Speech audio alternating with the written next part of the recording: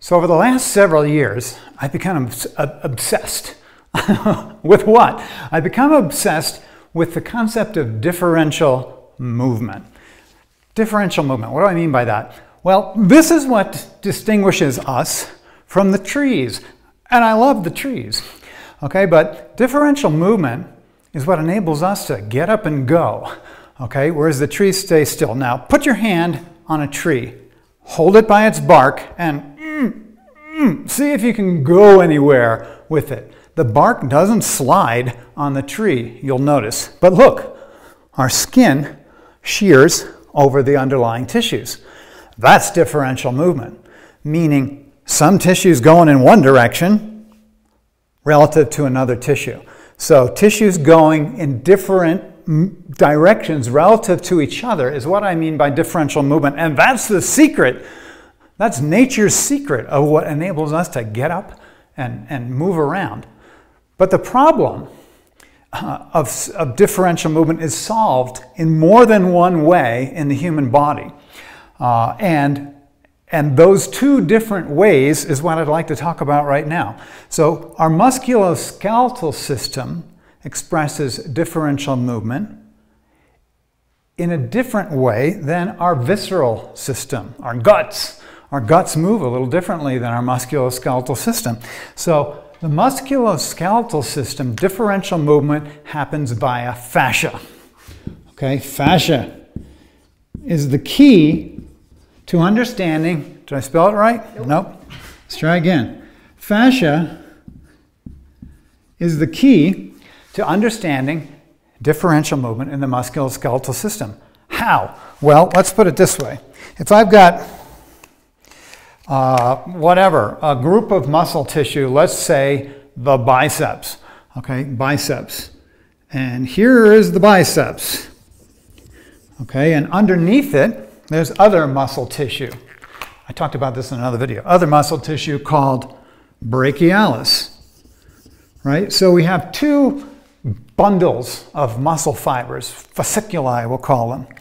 And what enables them to move relative to each other because they have different rates of speed. There are different places on the, on the wheel of life. So they're moving at different rates relative to each other. And what enables that differential movement is fascia. We'll call it perifascia. Let me get my perifascia pen out here. Okay, we'll put a P over it. And the perifascia, okay, is a membrane system I've expanded it for the sake of our discussion because it will be flat and slippery in, in your body. So between your biceps and your biceps brachii and your brachialis muscle, there's perifascia that allows the contraction of one relative to the contraction of the other. And this property infiltrates your entire musculoskeletal system. So wherever there's differential movement in the musculoskeletal system, you'll find membranes perifascial membranes, enabling the distension or the contraction in one place and the stillness in another place. So differential movement via fascia, perifascia.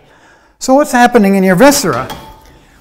Well, instead of having fascia, fascia, and perifascia in between, allowing the differential movement, with your organs, you have fluid, serous fluid, produced by fascia, right?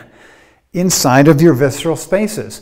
So your liver has a skin, the skin of your liver, right? It's fascial covering, it's fascial wrap, and it has special cells on its surface that exude a fluid that we call serous fluid.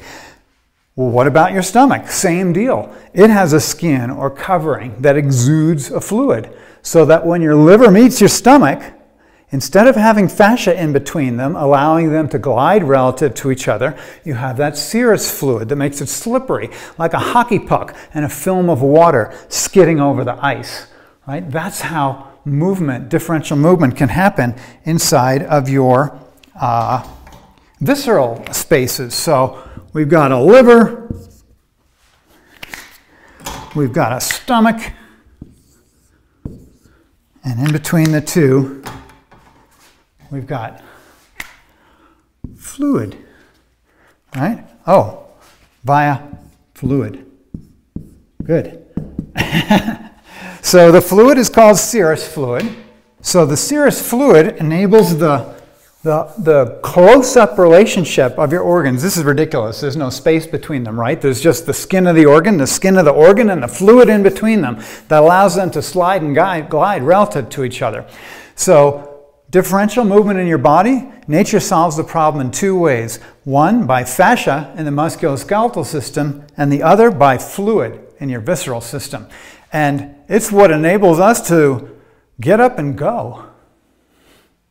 I appreciate your watching. Thanks for studying with me. If you'd like to learn more, visit me at gilhedley.com. There's a ton of stuff there.